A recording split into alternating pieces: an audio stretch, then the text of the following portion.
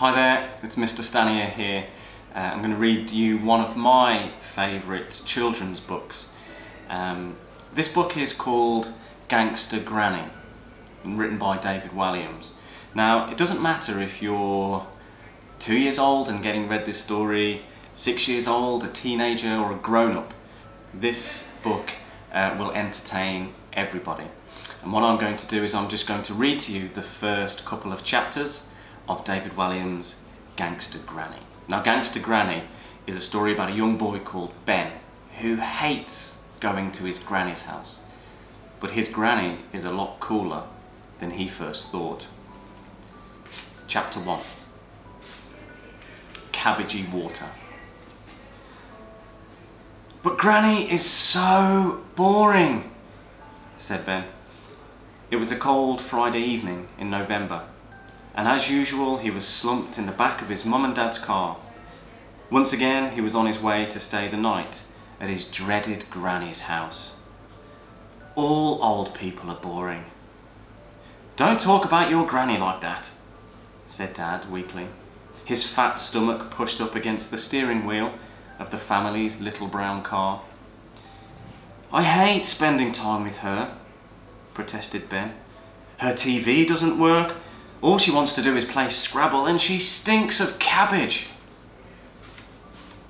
In fairness to the boy, she does stink of cabbage, agreed Mum as she applied some last minute lip liner. You're not helping, wife, muttered Dad. At worst, my mother has a very slight odour of boiled vegetables. But can't I come with you? pleaded Ben. I love your ball, what's it, dancing, he lied. It's called ballroom dancing, corrected Dad. And you don't love it. You said, and I quote, I would rather eat my own bogies than watch that rubbish.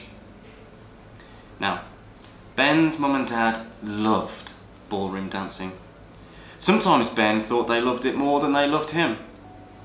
There was a TV show on Saturday evenings that Mum and Dad never missed called Strictly Stars Dancing, where celebrities would be paired with professional ballroom dancers. In fact, if there was a fire in their house and Mum could only save either a sparkly gold tap shoe once worn by Flavio Flavioli, the shiny tanned dancer and heartbreaker from Italy who appeared on every series of the hit TV show, or saving her only child, Ben thought she would probably go for the shoe. Tonight, his mum and dad were going to an arena to see Strictly Stars dancing live on stage.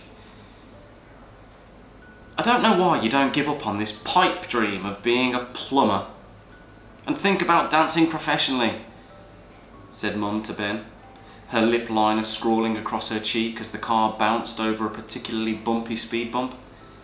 Mum had a habit of applying makeup in the car, which meant she often arrived somewhere looking just like a clown. Maybe, just maybe, you could end up on Strictly, added Mum excitedly. Because prancing around like that is stupid, said Ben. Mum whimpered a little and reached for a tissue. You're upsetting your mother. Now, just be quiet, please, Ben. There's a good boy replied Dad firmly as he turned up the volume on the stereo. Inevitably, a Strictly CD was playing. Fifty Golden Greats from the hit TV show was emblazoned on the cover. Ben hated this CD, not least because he had heard it a million times. In fact, he had heard it so many times it was like torture. Ben's mum worked at the local nail salon, Gail's Nails, because there weren't many customers, Mum and the other lady who worked there, unsurprisingly called Gail, spent most days doing each other's nails. Buffing, cleaning, trimming, moisturising, coating, sealing, polishing, filing, lacquering, extending and painting. They were doing things to each other's nails all day long, unless Flavio Flavioli was on daytime TV. That meant Mum would always come home with extremely long, multicoloured plastic extensions on the end of her fingers. Ben's dad, meanwhile, worked as a security guard at the local supermarket. The highlight of his 20-year career thus far was stopping an old man who had concealed two tubs of margarine down his trousers. Although Dad was now too fat to run after any robbers, he could certainly block their escape. Dad met Mum when he wrongly accused her of shoplifting a bag of crisps, and within a year they were married. The car swung around the corner into Grey Close, where Granny's bungalow squatted. It was one of a whole row of sad little homes, mainly inhabited by old people. The car came to a halt, and Ben slowly turned his head towards the bungalow. Looking expectantly out of the living room window was Granny, waiting, waiting. She was always waiting by the window for him to arrive. How long has she been there? thought Ben. Since last week? Ben was her only grandchild, and as far as he knew, nobody else ever came to visit. Granny waved and gave Ben a little smile, which his grumpy face just about permitted him to reluctantly return. Right, one of us will pick you up tomorrow morning at around 11, said Dad, keeping the engine running. Can't you make it 10, please? pleaded Ben. Ben, growled Dad. He released the child lock and Ben grudgingly pushed the door open and stepped out. Ben didn't need the child lock, of course. He was 11 years old and hardly likely to open the door whilst the car was driving. He suspected his dad only used it to stop him from diving out of the car when they were on their way to Granny's house. Clunk went the door behind him as the engine revved up again. Before he could ring the bell, Granny opened the door. A huge gust of cabbage blasted in Ben's face. It was like a great big slap of smell. She was very much your textbook granny. Thick glasses, white hair, false teeth, hairy chin and a hearing aid. Are mummy and daddy not coming in? She asked, a little crestfallen. This was one of the things Ben couldn't stand about her. She was always talking to him like he was a baby. Together, Granny and Ben watched the little brown car race off, leaping over the speed bumps. Mum and Dad didn't like spending time with her any more than he did. It was just a convenient place to dump Ben on a Friday night. No, uh, sorry, Granny, spluttered Ben. Oh well, come on in then, she muttered. Now, I've set up the Scrabble board and for your tea, I've got your favourite cabbage soup. Ben's face dropped even further. No, he thought. Chapter 2 A Duck Quacking. Before long, Granny and grandson were sitting opposite each other in deadly silence at the dining room table, just like every single Friday night. When his parents weren't watching Strictly on TV, they were eating curry or going to the movies.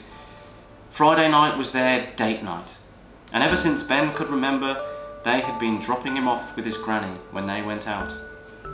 If they weren't going to see Strictly Stars dancing live on stage live, they would normally go to the Taj Mahal, the curry house on the high street, not the ancient white marble monument in India. And they would eat their own body weight in poppadoms. All that could be heard in the bungalow was the ticking of the carriage clock on the mantelpiece and the clinking of metal spoons against porcelain bowls, and the occasional high-pitched whistle of Granny's faulty hearing aid. It was a device whose purpose seemed to be not so much to aid Granny's deafness, but to cause deafness in others. It was one of the many things that Ben hated about his granny. How's your soup? inquired the old lady. Ben had been stirring the pale green liquid around the chipped bowl for the last ten minutes, hoping it would somehow disappear. It wouldn't, and now it was getting cold. Cold bits of cabbage floating around in some cold, cabbagey water. Um, it's delicious, thank you, lied Ben.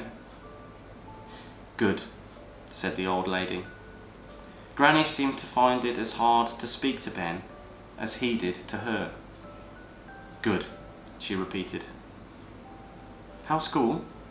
She asked. It's boring, muttered Ben. Adults always ask kids how they're doing at school, don't they? The one subject kids absolutely hate talking about. You don't even want to talk about school when you're at school. Oh, said Granny. Well, I must go check on the oven, said Granny after the long pause stretched out into an even longer pause. I've got your favourite cabbage pie cooking. She rose slowly from her seat and made her way to the kitchen. As she took a step, a little bubble of wind puffed out of her bottom.